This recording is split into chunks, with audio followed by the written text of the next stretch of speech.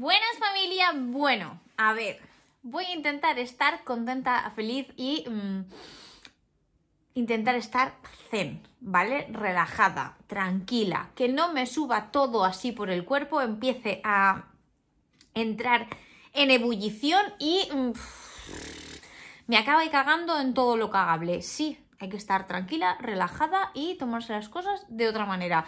Eso es lo que me digo yo todos los días. Pero, como sabéis, pues eh, ahora mismo la situación no es la más indicada como para estar tranquilo y relajado. Pero es que pasan los días y empiezas a ver ciertas cosas en las que dices, ¿Cómo yo no voy a coger un cuchillo y a salir a la calle y empezar a matar a gente si es que me estáis poniendo de los nervios? Y es súper sencillo el que me pongáis de los nervios porque hacéis las cosas sumamente mal. Y os lo voy a explicar muy rápidamente. Vamos a ver. Eh, estamos hasta las pelotas, pero vamos, hasta las pelotas y más de las restricciones, de que no haya una vuelta a la normalidad de ver cómo todos los días las cosas empeoran en vez de mejorar, de ver cómo se queja la gente por eh, todo lo que tenemos que hacer diariamente para intentar salir de esta mierda de situación.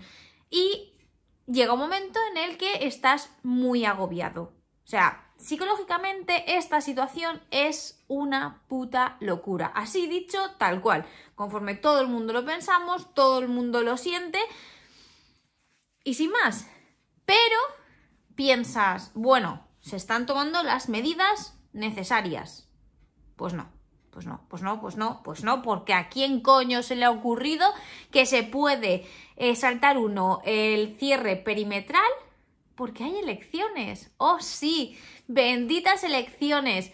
Que vale, que ahora mismo habrá gente ya escribiendo diciendo, es que es un derecho, el derecho a votar, el derecho a elegir. Sí, por supuesto.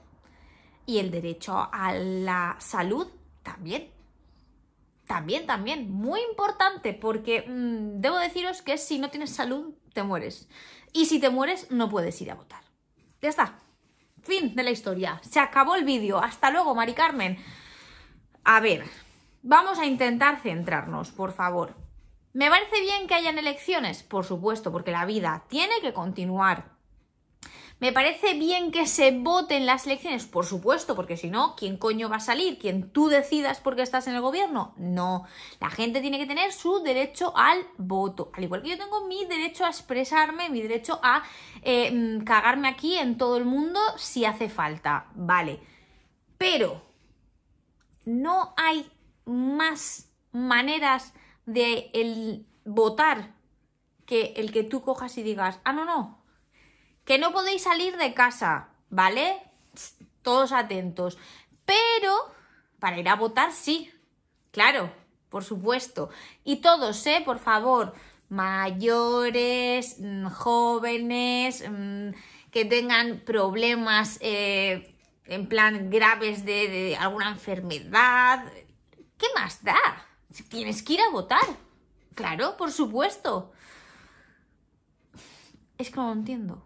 No lo entiendo. De verdad, llamadme imbécil porque no lo entiendo. O sea, si tú vives en el extranjero y en tu ciudad, en tu país, se están haciendo elecciones, se celebran las elecciones, tú tienes el derecho y la oportunidad de realizar tu eh, voto por correspondencia, por carta, de toda la vida de Dios.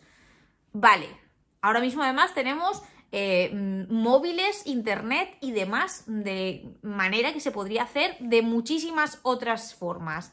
Vale, pero aún así, ¿me estás diciendo que yo tengo que presenciarme ahí a meter un papelito en la urna?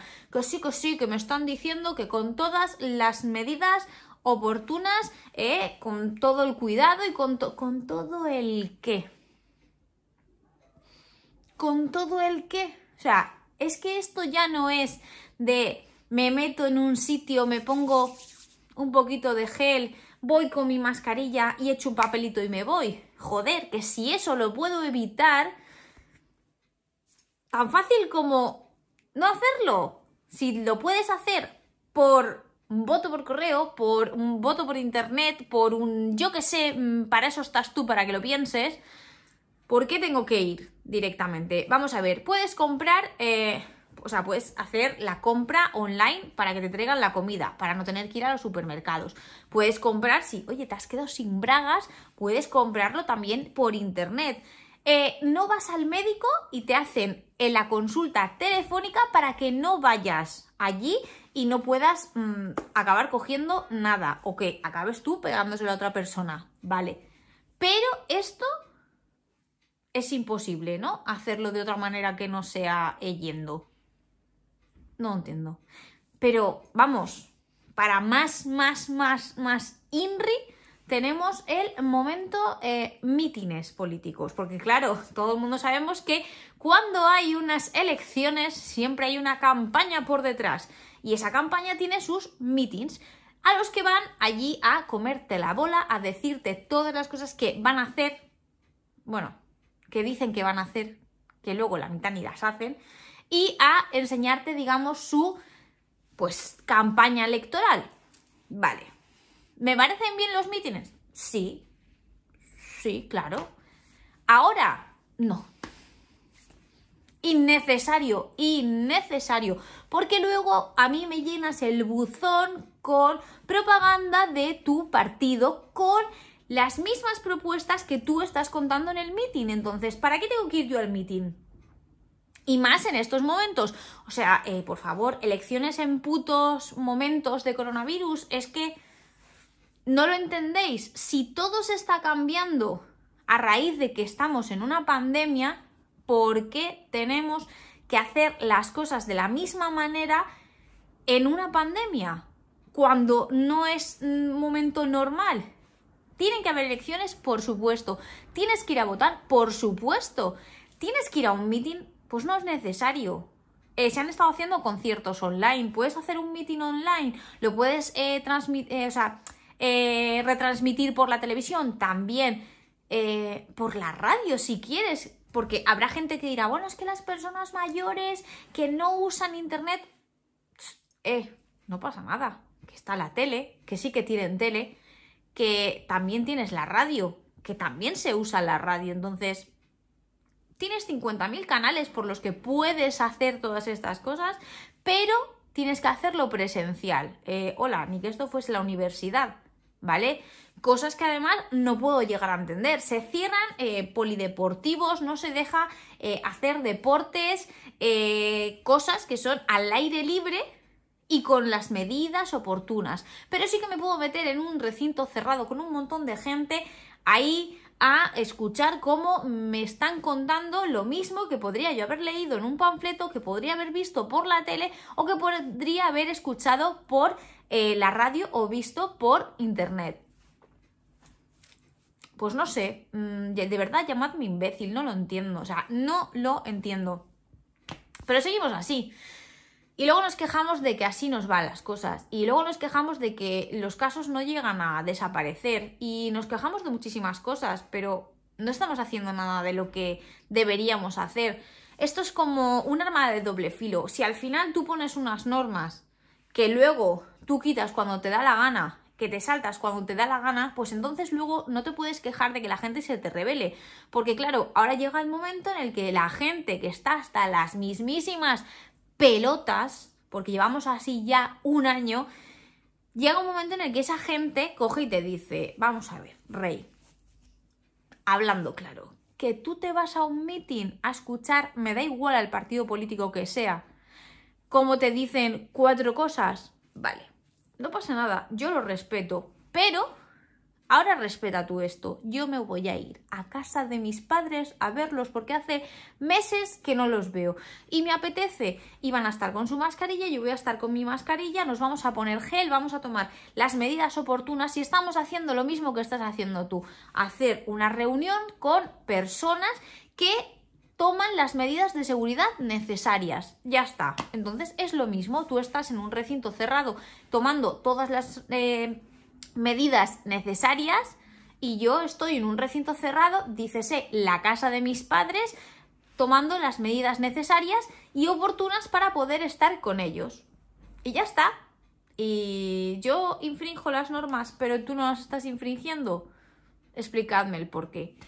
Mira, de verdad, eh, yo es que ya no sé cómo tomarme estas cosas, pero cada día estoy más agobiada. Em, me gustaría hacer un vídeo hablándoos un poco de eh, las cosas por las que estamos pasando en el hospital en cuanto al estrés que al final se te acaba quedando cuando terminas una jornada de trabajo. Pero la verdad es que no sé si os interesará escucharlo porque muchas veces es lo mismo de lo que me quejo cuando veo este tipo de cosas y os las cuento. Eh, lo hago sobre todo para tanto para desahogarme como para no matar a nadie al final. Porque es que, uff, de verdad, como para saber muchas veces vuestra opinión. Oye, que si os interesa el vídeo, que me lo digáis por aquí, que yo lo haría encantada. También es verdad que si alguno de vosotros me seguís por Instagram, mm, pues bueno, pues por ahí me suelo ir quejando más a menudo. Dicho esto, me sale súper mal que últimamente los vídeos sean quejándome de estas mierdas, pero es que lo siento. Si las cosas se hacen como se están haciendo, yo no puedo más con mi vida. De verdad, me estáis quitando los años de vida y las ganas de vivir, en serio. Y nada, que espero que me digáis por aquí abajo que os ha parecido eh, todo el rollo este de eh, meeting sí, familia, ¿no? Porque yo estoy un poquito harta y ya no sé si es que yo ya estoy susceptible y demasiado hasta los huevos y estresada y necesito unas vacaciones que no van a llegar o eh, esto es algo que nos está pasando a todos, que es lo que yo quiero creer.